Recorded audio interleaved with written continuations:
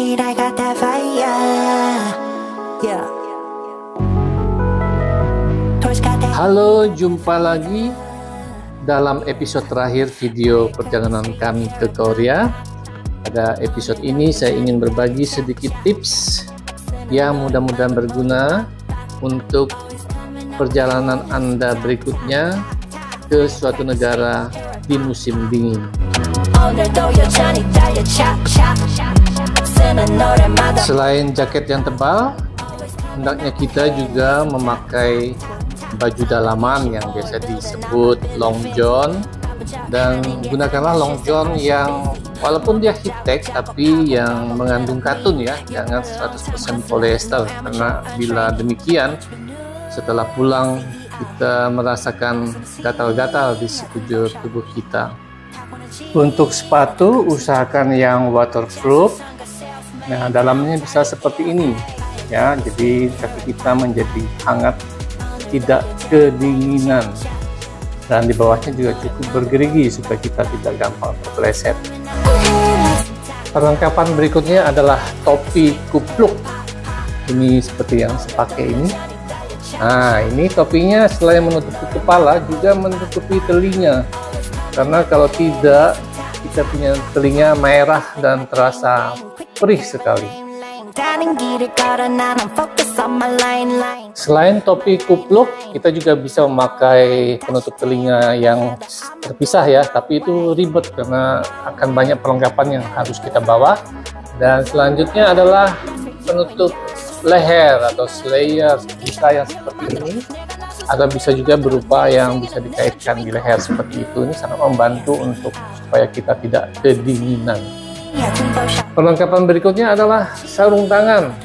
Usahakan mencari sarung tangan yang di jari telunjuknya ada tanda begini ini adalah untuk akses ke handphone kita ya. Handphonenya kalau bisa kuncinya dibuka lah, jangan pakai sidik jari. Saya bolak-balik lepas satu sarung tangan, kepit di kele, kemudian ambil foto lupa jatuh. Untungnya tidak hilang karena pada saat kembali ke jalan itu kita temukan lagi sarung tangan kita. Tapi kalau di tempat lain mungkin sudah hilang bila perlu bisa membelikan heat pack ya untuk kita genggam supaya tangan kita tetap hangat apabila sarung tangannya masih terasa kurang membantu. Pastikan Anda membawa obat-obatan bukan hanya cukup tetapi lebih khususnya apabila obat-obatan itu harus dibeli dengan resep dokter. Karena di Korea, bila obat-obatan resep dokter itu kita beli di apotik tanpa resep dokter, mereka tidak bakalan kasih. Seperti juga di Singapura, apabila kita ingin beli antibiotik tanpa resep dokter, tidak bakalan dikasih. Jadi, pastikan kita membawa bekal obat-obatan kita dengan lebih, bukan hanya cukup. Bagaimana dengan SIM card?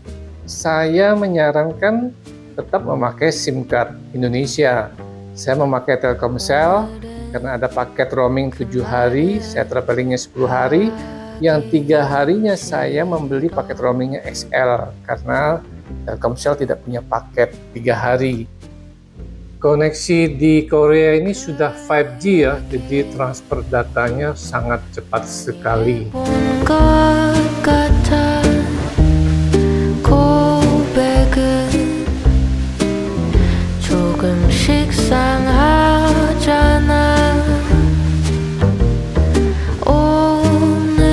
Bagaimana dengan penginapan?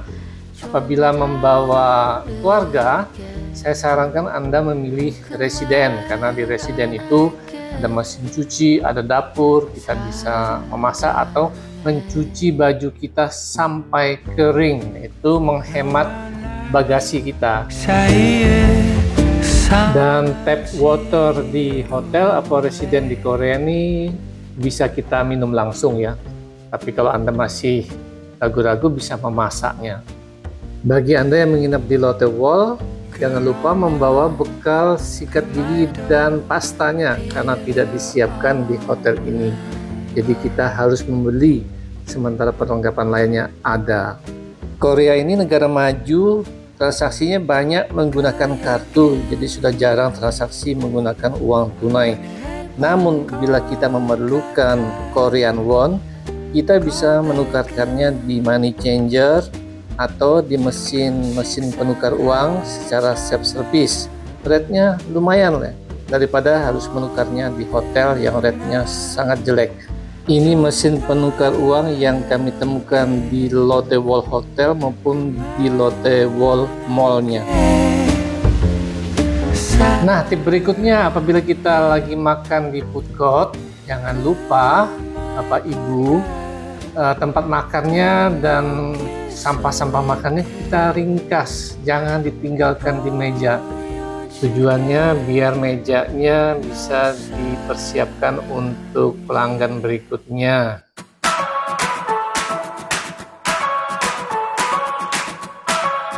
Tempat makan di Korea ini enak-enak, tapi mayoritas banyak babi ya. Uh, kami mendapat guide orang Korea, Mr. Choi, yang pintar berbahasa Indonesia sehingga kami mendapat banyak pengalaman baru bagaimana cara menyantap makanan Korea itu yang sebenarnya. Ya, sangat beruntung Mr. Choi ini adalah orang Korea yang lulusan terbaik sastra Indonesia di Universitas Indonesia. Apabila perlu, dengan jasa Mr. Choi, Anda bisa menghubungi dia dan nomor kontaknya ada di deskripsi uh, video ini. Dan saya sudah mendapat izin dari beliau untuk uh, memasukkan nomor HP-nya dia di sini. Sekarang mengenai check-in, saya sarankan Anda untuk melakukan check-in via internet karena jalurnya berbeda dan biasanya lebih cepat daripada check-in manual Berikutnya, pastikan Anda datang ke bandara 3 jam sebelum keberangkatan karena antriannya panjang terutama pada saat pemeriksaan barang-barang bawaan yang hand carry ya. Sementara setelah check-in di counter penerbangan airline, kita diminta 5-10 menit untuk tidak masuk dulu ke terminal keberangkatan karena bagasi kita sedang diperiksa. Mereka sangat sensitif terhadap barang-barang bawaan kita khususnya seperti power bank ya yang bisa membahayakan penerbangan. Jadi pastikan power bank Anda itu disimpan di hand carry, jangan di bagasi supaya tidak menghambat waktu perjalanan Anda. Pada kesempatan ini kami mengaturkan banyak terima kasih kepada backpacker Korea yang mengatur, mengarrange seluruh perjalanan kami ke Korea selama 10 hari di bawah driver dan guide Mr. Choi yang terasa sangat akrab seperti kita jalan-jalan dengan keluarga sendiri, tidak seperti jalan-jalan dengan orang asing. Jadi sangat hangat, sangat ramah, dan kami dibawa ke tempat-tempat sesuai dengan itinerary yang telah disiapkan dan dibawa ke tempat makan yang lezat. Tentunya kami sangat bersyukur dan berterima kasih karena boleh bertemu dengan Mr. Choi dan dengan backpacker Korea. Semoga Anda semua boleh mendapat kesuksesan di tahun 2023 ini. Kiranya demikian Saudara-saudara, apa yang bisa kami bagikan melalui tips trip perjalanan ke Korea kali ini semoga bermanfaat. Terima kasih atas perhatian Anda. Tuhan memberkati. Sampai ketemu lagi. Bye.